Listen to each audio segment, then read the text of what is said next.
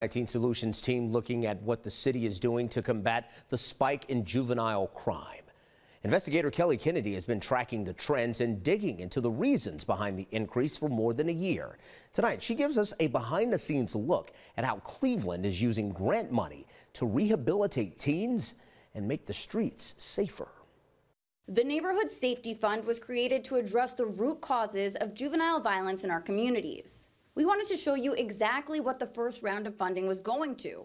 We're here at the Cuyahoga County Juvenile Justice Center, where kids are undergoing music therapy in a recording studio inside the detention center.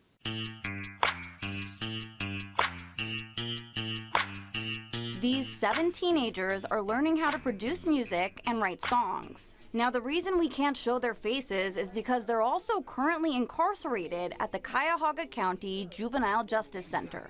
Your current location is not your destination.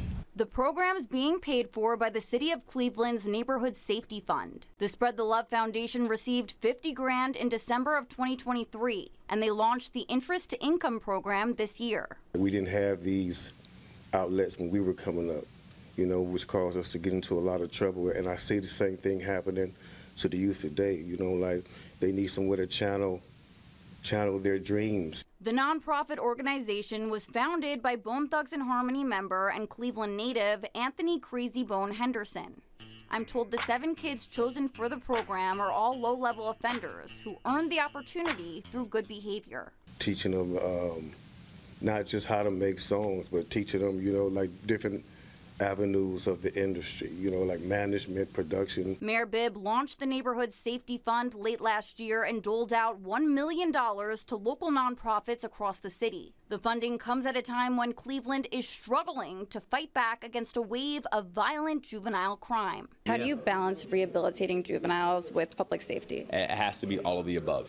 Um, we have to make sure that we are investing in young people so they never get involved in committing crimes.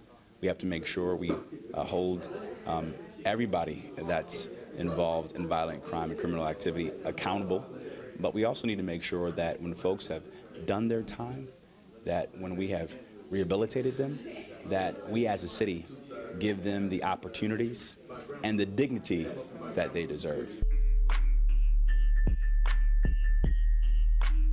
This particular program also focuses on music as therapy for these incarcerated teens. And studies show it's been proven to reduce recidivism rates. I think music is an amazing outlet for folks to reflect on their lived experience, uh, to give them hope and inspiration. Applications for the second round of funding close next Friday.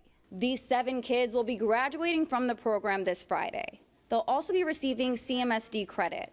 The Spread the Love Foundation plans on expanding the program and making it co-ed. And starting this summer, they'll also be working with probation eligible youth. Reporting in Cleveland, Kelly Kennedy, 19 News.